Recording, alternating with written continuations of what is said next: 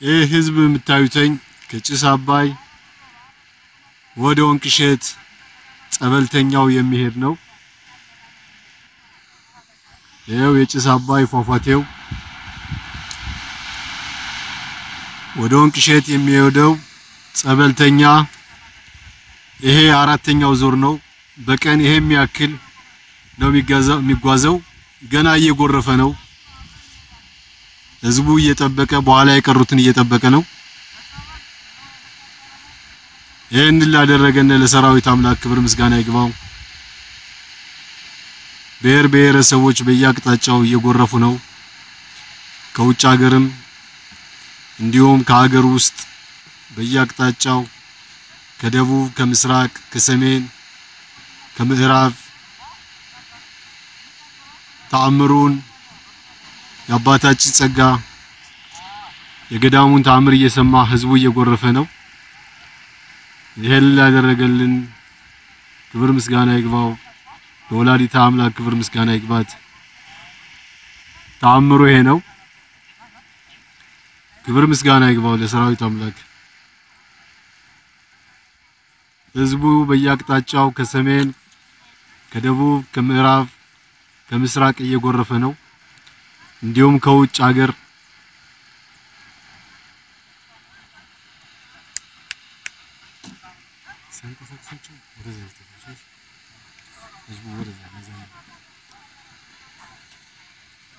ይህንን ይመስላል ጭስ አባይ።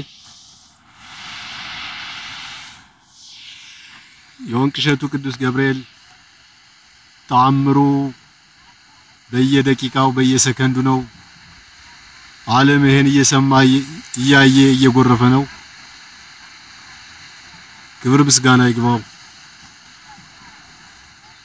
ለአባታችን ለአባ ዮሐንስ ተስፋ ማርያም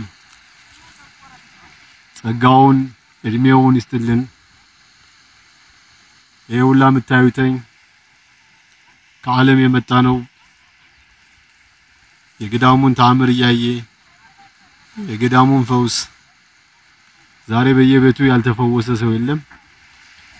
ይሄን ላደረገልን ለሰራዊት አምላክ ክብር ምስጋና ይግባው። ለወንቅሸት ገብርኤል አሁንም ትልቅ ትልቅ ትልቅ ትልቅ ትልቅ ተአምር እየተደረገ ነው። ህዝቡ ገና እየመጣ ነው ከሩቅ እንደምታዩትኝ ህዝቡ ገና እየመጣ ነው።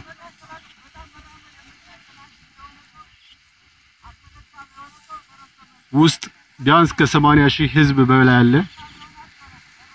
ወንቅሸት ገብርኤል ውስጥ በአሁኑ ሰዓት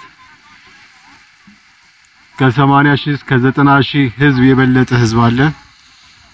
ይኸው እንደምታዩተኝ ሰው በአልጋ ነው የሚመጣ። እንደዚህ በአልጋ መጥቶ አልጋውን ተሸክሞ ነው ወደ ቤቱ የሚመለስ።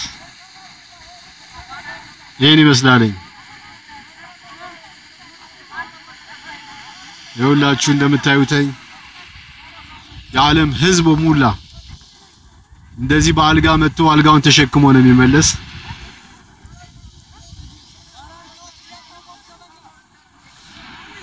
እንደዚህ ነው ህዝቡ እየጎረፈ ያለ።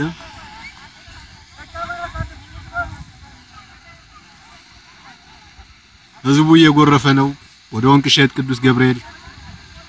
ምንም በዚህ ገዳም ጠላት ቢበዛበት አፈርሳለሁ የሚል ቢበዛበትም ግን ህዝቡ የዓለም ህዝብ እየጎረፈ ነው። እንኳን ደስ አላችሁ።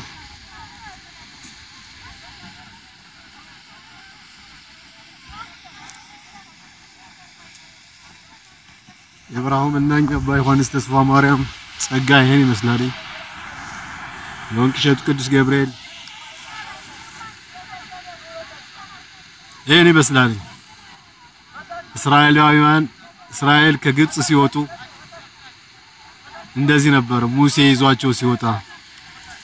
አሁንም ያን ተአምር በዚህ በወንቅሸት ገብርኤል እየተደገመ ነው።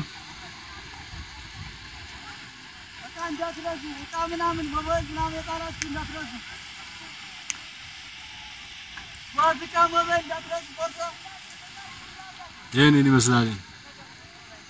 በዓለም ያላችሁ ህዝበ ክርስቲያን ተመልከቱት።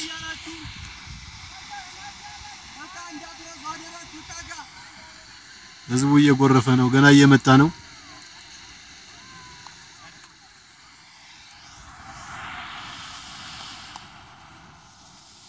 ክብር ምስጋና ይግባ ይሄን ላደረገልን።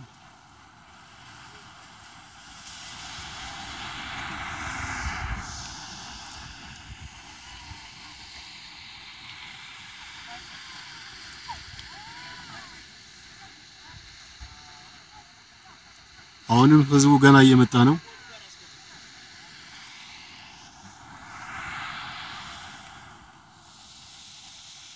ህዝቡ እየጎረፈ ነው።